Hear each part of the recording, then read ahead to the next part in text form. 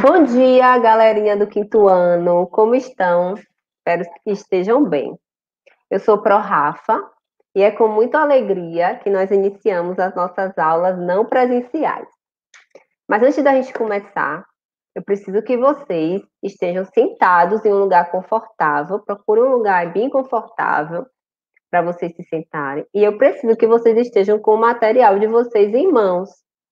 Eu preciso que vocês estejam com caderno, com as atividades do dia 12, atividade de linguagem, com lápis e borracha. Combinado? Se preparem que a gente vai começar. Para iniciar, a ProRafa vai fazer a apresentação desse slide aqui e a gente vai falar de um tema que ProRafa gosta muito, que é alimentação saudável. Mas afinal, o que é se alimentar de maneira saudável? Tem gente que pensa que se alimentar de maneira saudável é comer muito, encher o prato, muita comida. Tem gente que pensa que se alimentar de maneira saudável é comer pouquinho, porque não quer engordar. E a gente, como é que a gente deve cuidar da nossa alimentação? E agora na pandemia, o que mudou? Precisamos intensificar mais ainda os cuidados para evitar doenças? Vamos ver a dica que o Rafa tem aqui para vocês. Hum, coisas que a gente precisa eliminar e coisas que a gente precisa adicionar na nossa alimentação. Quando a gente vê essa foto aí, hum, dá água na boca, né, gente? Refrigerante, salgadinho, batata frita, muitos doces. Ah, que delícia! Mas eu não posso comer isso todos os dias na minha alimentação diária não pode conter tudo isso aí. Por que, Pro Rafa? Porque esses alimentos consumidos em excesso, eles fazem mal à saúde e podem trazer doenças. Doenças do coração, colesterol alto, diabetes, obesidade. Ah, Pro Rafa, mas eu nunca posso comer nada disso? Pode de vez em quando, no final de semana, escolher um dia da semana. O que, que a gente precisa comer diariamente para cuidar da nossa saúde? Frutas, verduras, legumes, feijão, arroz. A gente precisa comer, gente, comida de verdade. Mas o que é comida de verdade?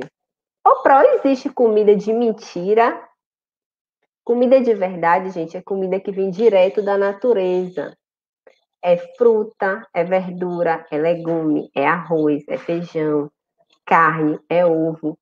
Essas comidas aqui, ó, salgadinho, biscoito, refrigerante, são comidas muito industrializadas. Tem muito açúcar, tem muito sódio. A ProRafa ouviu uma coisa uma vez e eu gosto sempre de falar: a gente precisa descascar mais e desembalar menos. Porque quando a gente está desembalando um produto, isso quer dizer que ele é um produto industrializado, é um produto processado, é um produto rico em gordura, gordura trans, que faz mal ao organismo, em sódio, em açúcar. Quando a gente descasca, a gente está descascando um produto natural, um produto que vem da natureza, que só vai fazer bem para o nosso organismo. Olha a dica da Magali. Magali gosta de comer, né? Gente, quando a gente lê as historinhas, a gente vê que ela não pode ver comida. Mas a Magali, ela come de tudo um pouco. E ela ainda deu uma dica pra gente. Para crescer forte, você precisa comer um pouco de tudo: frango, peixe, ovos, muitas frutas, muitas verduras, leite, queijo, arroz. Nossa alimentação deve ser variada com um pouquinho de tudo. Isso é que é se alimentar de maneira saudável. E essa palavrinha aí, quem já ouviu? Fast food. O que, que significa fast food? Quem nunca ouviu, quando eu mostrar aqui na telinha a foto, vai saber. Fast food, gente, é comida pronta. Os restaurantes de fast food são aqueles restaurantes que vendem comida rápida sanduíche, batata frita, pizza, cachorro quente, refrigerante, suco industrializado. Hum, tudo gostoso, né? Mas eu posso comer sempre? Não posso. Por quê? Porque esses alimentos consumidos em excesso, eles fazem mal à nossa saúde. Na atividade de vocês de linguagem de hoje, tem um textinho que vai falar exatamente sobre alimentação saudável e fast food. Eu preciso que vocês estejam com o texto de vocês em mãos, que nós vamos fazer essa leitura juntos. Vamos lá?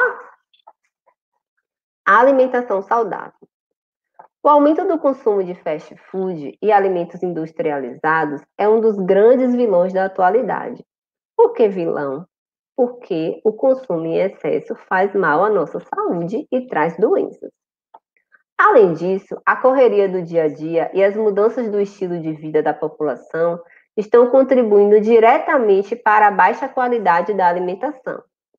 Problemas como obesidade e doenças cardíacas são cada vez mais frequentes e possuem relação direta com a falta de alimentação saudável que a gente corre muito, a gente trabalha fora, tem muita coisa para fazer e às vezes acaba se alimentando de maneira rápida e de uma maneira que não é saudável, né, galerinha?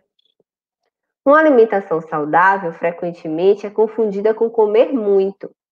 Entretanto, uma alimentação saudável está muito mais relacionada com a variedade e qualidade do que está sendo ingerido do que com a quantidade.